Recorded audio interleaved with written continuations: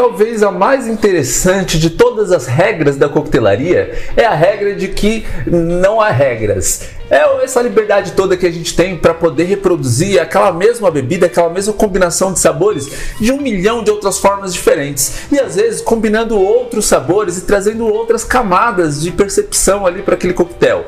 Isso é uma das coisas mais incríveis que a coquetelaria tem para nos oferecer e é por isso que hoje eu estou trazendo aqui uma variação do nosso grandíssimo e amado clássico, a caipirinha. É uma variação que você vai fazer ó, com essa bebidinha aqui destilada de zimbro a Steinegger. Eu vejo você depois da vinheta. Vambora!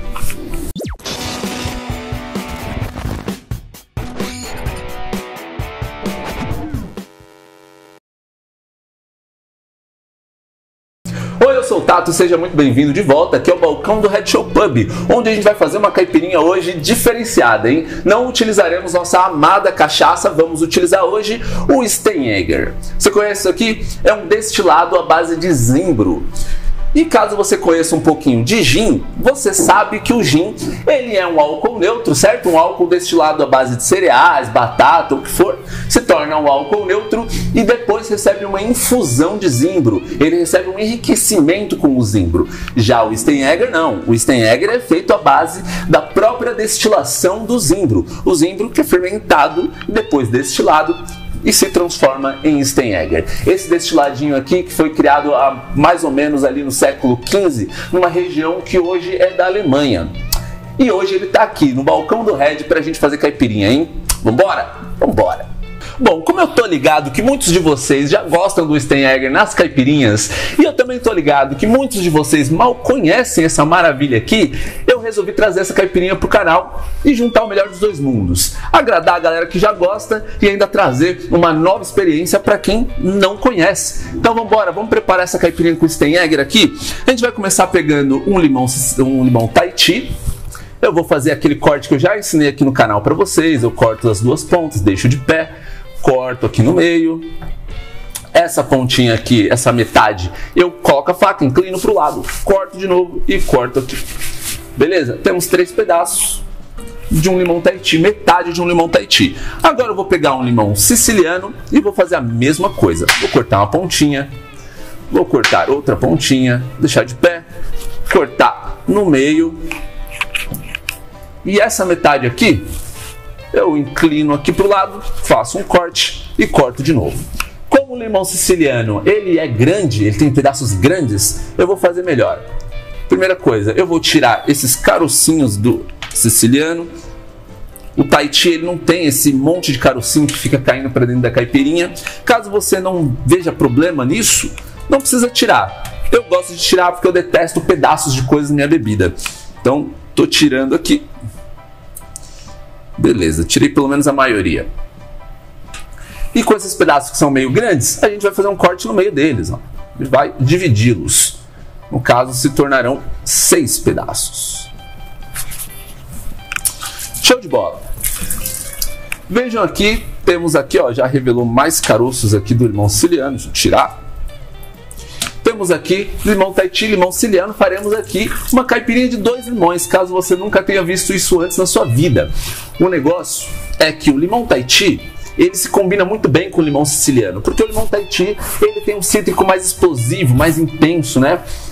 Enquanto o limão siciliano ele é mais aromático, né? Um pouco mais saboroso. Então eu vou colocar aqui todos esses pedaços de limão para dentro.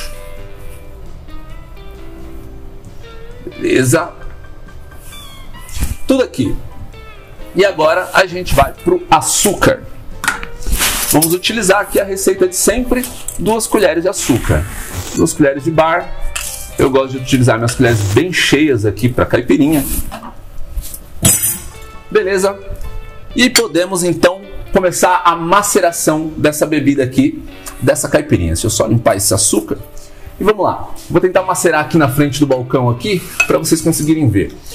Lembra que o segredo de macerar qualquer caipirinha é você não exagerar na maceração, certo? A gente macera até enquanto a gente está sentindo esses gominhos explodindo. Enquanto depois, ó, depois que você apertou aqui e sentiu que parou de estourar esses gominhos, você para de fazer força, encontra um novo lugar e aperta em outro lugar. certo? Só enquanto você sente os gominhos explodindo lá dentro. Fechou. Agora que a nossa caipirinha já está macerada, vamos adicionar a bebida base dela.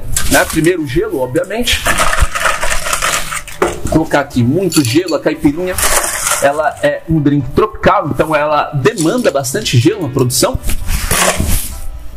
E agora o Steinegger. Vamos lá. O Steinegger, que ele é um destilado de... Vou deixar vocês lembrarem aí do que eu falei ou voltar ao vídeo. Mentira, não vou ser tão chato com vocês não. É um destilado de zimbro. Então já fica o toque aí para vocês estudarem. E temos aqui a nossa caipirinha praticamente pronta. Eu vou pegar uma colher bailarina a colher vai até o fundo do copo, onde está concentrado os pedaços de fruta, o açúcar que está concentrando ali no fundo. Vamos lá no fundão ó, e começar a fazer esse movimento com a colher, tá? Ela só vai fazer esse movimento e a gente gira o copo e vai assentando esses pedaços de fruta, o gelo. Olha que maravilha! Sempre jogando bem para cima não tenha dó de separar esses pedaços, esse gelo. Legal.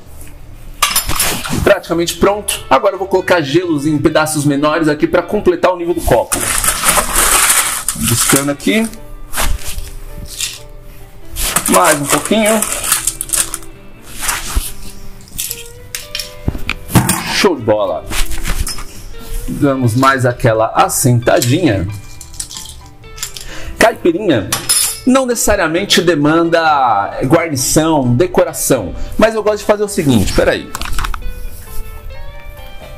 Aqui, eu tenho um limão Tahiti que eu gosto de cortar ele em três rodelas.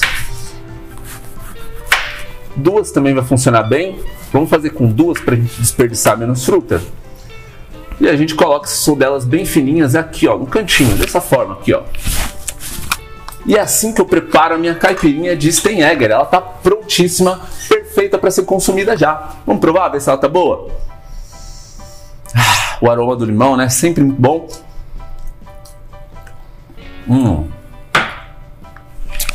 Eu, eu sempre acho muito interessante como o Steinegger ele se sobressai em sabores adocicados, né? Ele faz o, o, o sabor do açúcar trazer mais aqui para o paladar, vir mais para a superfície do drink, né?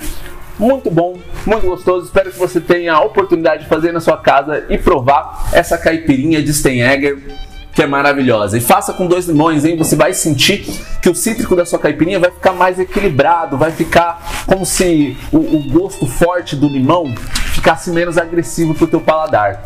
Ah, e se você gostou desse drink, não se esquece de dar like nesse vídeo, se inscrever no canal e me seguir no Instagram que está aparecendo aqui na tela neste momento. Vejo você então no próximo vídeo, hein? Tchau, tchau. Falou. Bora.